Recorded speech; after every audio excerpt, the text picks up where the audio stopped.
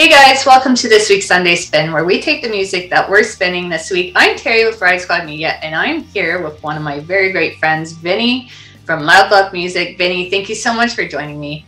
Thank you for having me, Terry. This is such a treat to get to uh, to talk with you on the Sunday Spin. It's a show that I watch on a regular basis, so now to be able to come and talk to you and and all of your viewers, it's it's a pleasure. Well, I'm so stoked you're here. Um, you have been very busy as of late. Uh, you kind of have some cool things going on. There's a new, I guess, project called Utter Disregard. Can we talk about it? Yeah. So um, if you've seen my face and I look familiar, it might be because uh, you know me from the band Loud Love. Uh, you know, Loud Love is kind of the the moniker, moniker that I make music with um, all over. You know, with all different types of music. Um, but since then, uh, I've started a band with a couple of really great friends of mine called Utter Disregard. Uh, some of you in, in the scene might know Mr. Jimmy Minarchik. Uh, he's a, an amazing guy, an amazing friend. Uh, he and I decided to team up with uh, one of my great friends, Bill Minetti, who played drums in Loud Love, along with a mutual friend of ours named Pete Cunningham. And we're in this really awesome, really angry, but really poppy uh, slash thrashy slash street punk band, and it's it's been awesome. That's amazing. So you you guys pretty much just kind of do it all in style, you know, like that's yeah. kind of cool that you're loving the combo and stuff and kind of just willing to change. Are you guys kind of writing songs together? Or I know for a lot of Loud Love that was through you. Um, yes. But uh, is this time just more of a collaboration of the it is. We're all um, we're all putting our ideas in the hat. Uh, you know, Jimmy. It, it's a little weird because three quarters of the band are here in South Jersey, right outside of Philly, and Jimmy's out in Pennsylvania. So it's, it is a little harder to kind of get together in person, but we swap a lot of ideas digitally. Um, so you know, if if Jimmy writes something on the bass, he'll send it to me. I'll add my flavor to it. I'll send it to Billy, and it becomes this hodgepodge until it turns into a really awesome song that we're really proud of. And um, it's cool because we're all kind of in the same headspace right now, especially with Billy and I having gone through what we went through with Loud Love.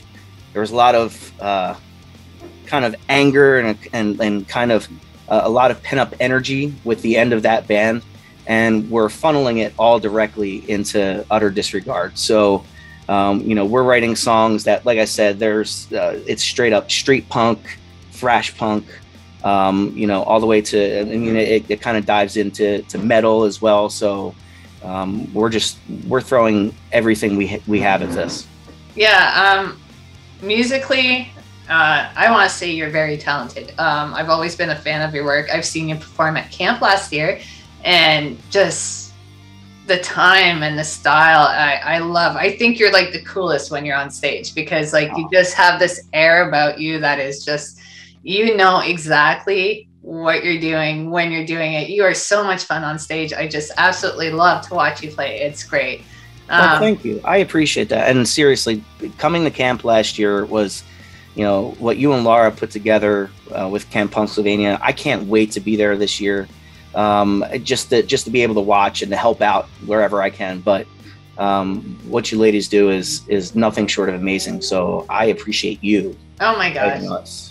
Oh, right in the heart.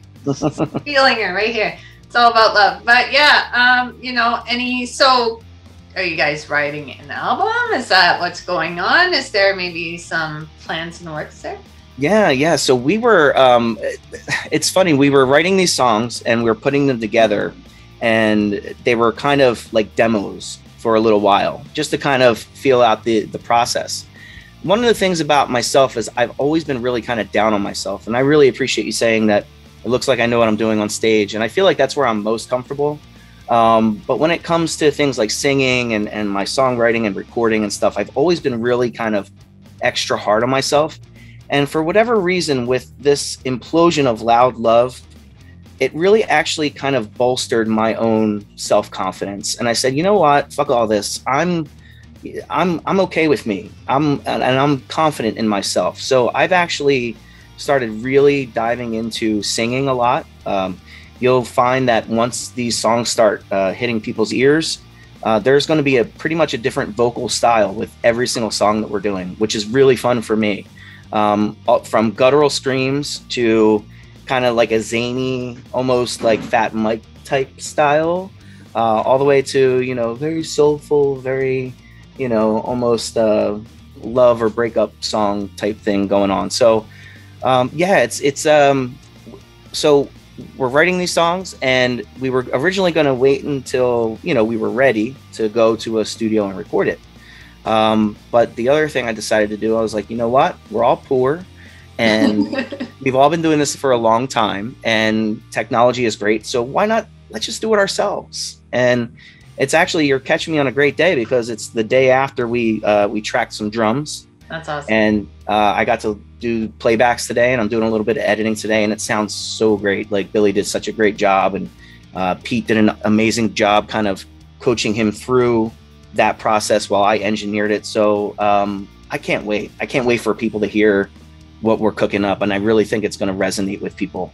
I can't wait either. Um, yeah, uh, definitely back to the NOFX. Now you did release a cover of my favorite NOFX song, which hey. is "It's My Job to Keep Punk Rock Elite." Um, and I want to say you absolutely nailed it. Um, I remember when you put it out, I was singing right with you. Um, the top melody, of course, but yes. Um, but I thought you absolutely nailed that cover. I hope you know maybe Fat Mike listens to it someday because I think you really, really hit it, hit it right on the head. I'm I'm a big NOFX geek. I don't care who knows it. Um, we actually we still play that one live so if you ever catch us out um, we've been opening our sets with that song um, we also did um, uh, dad's bad news off oh, of oh that's a great song too yeah off of um, so long and thanks for all the shoes it's the best but, album yeah I, I love that record. It's so good. okay. Um, it's not my sunday pick because it's probably like my monday through saturday pick. Um, but yeah you know it's um it, it's really cool to be able to kind of dive back into to my roots personally because with loud love I, I, do so many different genres of music and and i work with so many different styles of, of musicians and stuff like that. And it's really great to do but my heart and soul is in punk rock music i mean and i was trying to describe to pete he's actually he's more from like kind of the metal hard rock world and he's like i've never been in a punk band i'm kind of overwhelmed I was like, dude, don't worry about it, man. Punk rock is all about family. It's all about, it's more of an idea or ideal than it is a sound. You know, like it's it's the heart and soul that you pour into whatever sound that you're making.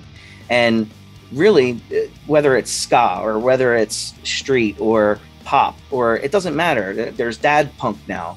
Um, as long as the passion's behind it, that's really what it's all about. And you know i remember being 15 16 years old my first band it's called first step to failure and we just went up there and we just made as much noise as we could and and that was a good night for us so um, it's it's fun to be able to do that again um, uh, years later um, i so, just got like yeah. chills just you saying that is so nice it's you know i feel that too right um yes kind of through this and camp, and that's why we're homies.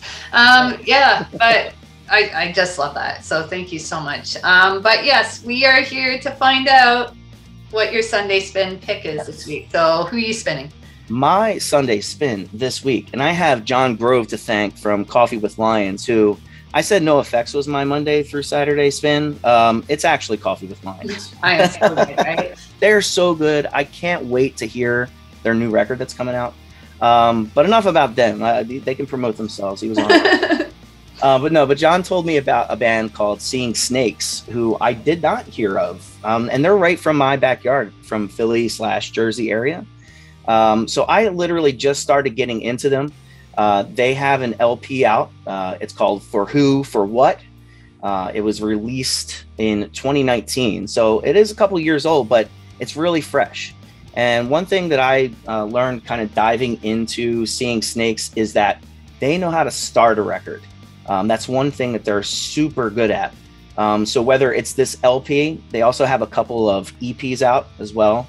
Um, my favorite of the EPs in their discography is Jake Goes to Portland, um, and it's uh, it's kind of cool. There's like a little parody of Milo from the Descendents on the cover, Oh, and it's that. kind of like that monochromatic, you know, layout there. And it's a few songs, and that was also put out in 2019. But they're very active. They're playing a ton of shows, um, and uh, they're actually going to be at the West York Inn with Coffee with Lions on the 22nd of July.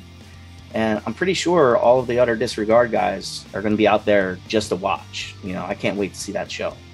Um, but yeah, so if you're spinning seeing snakes, um, I would highly recommend the, the LP. Kind of diving into that first. It kicks off with a song called Modelo, uh, and it, it it hits you right in the in the gonads or in the ovaries or whatever you got. um, like I said, they they know how to start off a record, and the the energy just keeps going. So there's 12 songs on this LP, and it really doesn't doesn't uh, slow down too much, you know.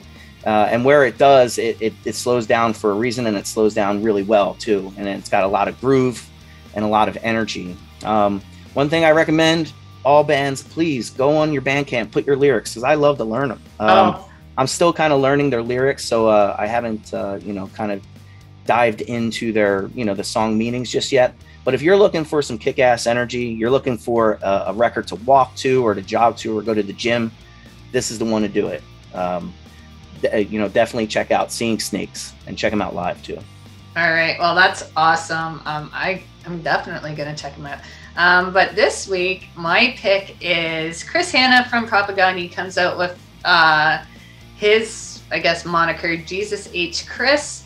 And he released just earlier this week called A Catastrophe Break with Consensus Reality, which was a nine uh, song, I guess, album, 34 minutes long of covers. Um, some of these were previous uh, Propagandhi uh, songs. There's SNFU, there's Iron Maiden, there's Razor, there's Sacrifice. Um, I cannot put this album. I just really picked it up. I want to say about three, four days ago, and it's been nonstop. Uh, I play it all time. I absolutely. He did such a great job with it. I'm going to talk about two songs though because I find these two were really the ones that stood out the most for me. Um, I'm gonna start with Coach's Corner, and this one seems to be the one that has broken the internet somehow. Um, a lot of my friends have reached out and wanted to know how I felt about it because it is such a different style from the original Coach's Corner, which is obviously a more punk rock, harder song. This just slows it right down. I want to say almost to like a alt country, maybe post hardcore, very slow. I actually like wound up playing it and listening to it when I was playing like Red Dead, and Okay. I thought it was perfect for it. It sounds Uh, like it fits the the you know the aura of that very well from your Yeah. Yeah. Um, you know, it's kind of that Canadian and being Canadian myself, you kind of grew up with that style of music. Um, for a lot of things. It just it really just but the parts that I love the most about this song is uh Chris Hannah's vocals. Holy fuck. Like with you know, with the original, it's definitely an angrier song, but this one just really opens him up to a whole new different style and i think he absolutely nails it. I do not hate it. There's a little part in that last minute piece where i'm just like eh, maybe it's a bit of a drumming side but then he finishes back off really strong with it and i thought it was great. Um yeah but i don't people are kind of torn about it. I think we're just so used to the original that we're not giving this one the credit and the love it deserves because it is truly fucking fantastic. I can't put it down. I don't. I love it. So I'm gonna listen to it. I know all. I absolutely can't wait to check it out. Just when talking off air and then now hearing your description now, I'm that's literally the first thing I'm to listen to as soon as. Yeah, you have to. It is. You will find yourself like I was belting, like just right from the belly, singing this one. Um, the next one is my favorite SNFU song, "Wreck in Progress." I wow. Um, this song was truly fantastic. It came from uh, in the meantime and in between time which is released back in 20, 2004 um, i want to say but i can't find anything on it. So this is just me talking here. Um, that Marc Belke was actually maybe a part of this recording um, of this song. And the reason why i'm saying this is because the the big part of why I love in me time in between time is the vocal melodies. Um, this sounded SNFU. Uh, he did not change the song very much. It does sound like Chris Hannah, which is not a bad thing. And if for whatever reason SNFU decides one day that they just kind of want to take out and do a tribute to, you know, Mr. Pig, I think Chris Hannah would be the best frontman to do it with. Um, I can't put this song down at all. Uh, I just love it. They did such a fantastic. It really stuck to SNFU. Uh, that core, that energy, that love, that just everything just really fit well so well without it. Um, it really piqued my ears because I wasn't kind of I was kind of had the album like um, playing in the background while I was working and Wreck in Progress came and then I heard that like the chorus come through and that the or the melody in the vocal or in the chorus and I was like wow. level. It was it stopped me in my tracks and i'm like whoa what am i listening to so i truly love it. I do recommend even the iron maiden song the sacrifice song is just absolutely killer. You guys do need to check this out. I promise you will not be disappointed. And with that it brings us to our shout out portion. Um Vinny who are you shouting at this week i've got to shout out these dudes that i've known for such a long time. Uh, they are a band called jersey calling and they're from you guessed it they're from wyoming. What? no i'm just kidding they're from, they're from new jersey. Um, no they're um, i've been i've been friends with these guys uh, for such a long time but i've also just been like uh, a big fanboy. When we used to play together when we were 16 17 years old uh, i would stand out in the crowd and just be in awe of their showmanship and the way that they wrote tight and concise and beautiful songs with amazing lyrics um, they took a really long time off, and they just recently, over the last couple years, got back together. They're all, you know, dads and married and uh, engaged now, depending on which one of them that you're talking to. Um, but they they put out a record. It is called Punk Rock Retirement, and just being a Jersey Calling fanboy, I, I thought it was kind of like their swan song. You know, they were going to kind of come out, do one last hurrah, um, and and I was happy with it because it's so good. Um, but I was relieved to know and excited to know that they're actually back in the studio recording as we speak. Awesome. And you know, like I said, I'm a huge fanboy, so I'm like sitting here geeking out over these songs. I can't wait to hear them. But it's funny because Josh, the lead singer, works with my wife, and you know, like I, you know, I talked to, to Randy, the bass player, on a regular basis. He actually featured on the our, you know, the Soul Loud Love album that we had put out. He played bass for us on a song um, I've done work with uh, with Sean in the past. He's played harmonica on a Tom Petty cover that I did a while back. So um, definitely shouting out Jersey Calling. Check them out. They're you will not be disappointed.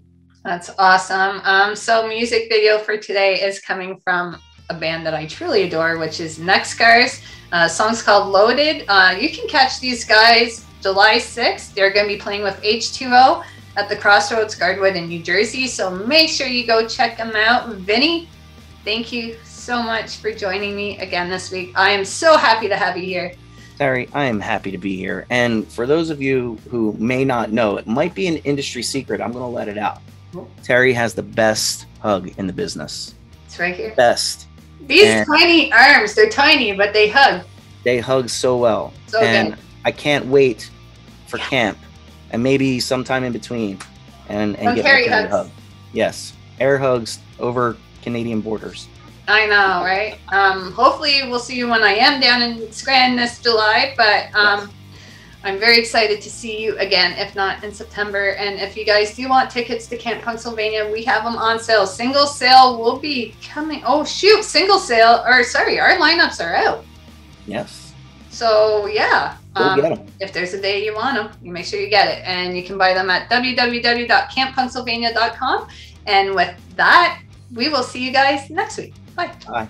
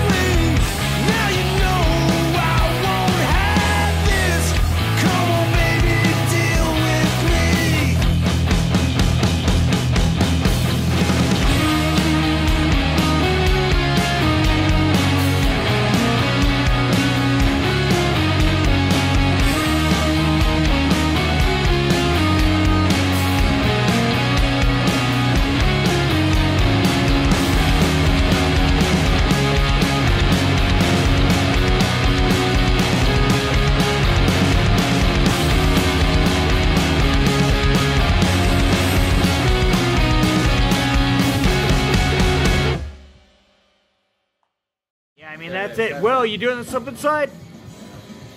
Ready? He's doing it.